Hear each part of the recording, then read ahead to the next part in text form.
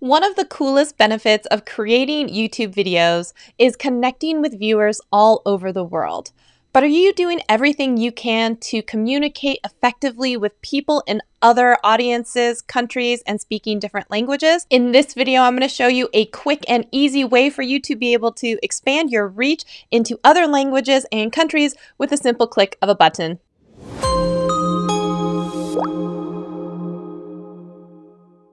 Hey TubeBuddies, I'm Shelly Nathan, the video manager and product expert here at TubeBuddy.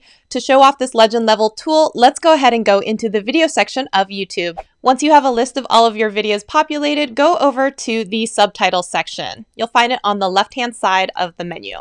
Once here, go ahead and select one of your videos. I'll go ahead and select this one. One of the items you should see populate right away is this top 10 languages spoken by your channel's audience.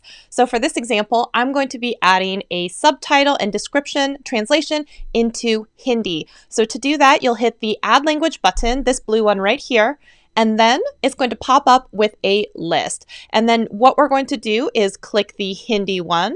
Once this has been populated to your list, you're going to hit the add underneath title and description column. This will pop up a menu that is going to ask you if you'd like to translate everything that's existing in your title and description from one language into the selected language that we have, which is Hindi in this case. So we'll hit translate. And within seconds, that translation is complete and all you have to do is hit publish. This feature can also translate your subtitles as well. So if you've already uploaded a subtitle file to your video, simply hit the add underneath the subtitles column. You can either upload your file here if you have used it from a different service such as rev.com or hit the auto translate button and it will translate your existing titles and the time and all you have to do is hit publish. Now, since you do have the on-screen display that shows you the languages spoken, popularity, in descending order, if you wanted to, you could go through and add additional languages and translations in the order in which they show up in your list below.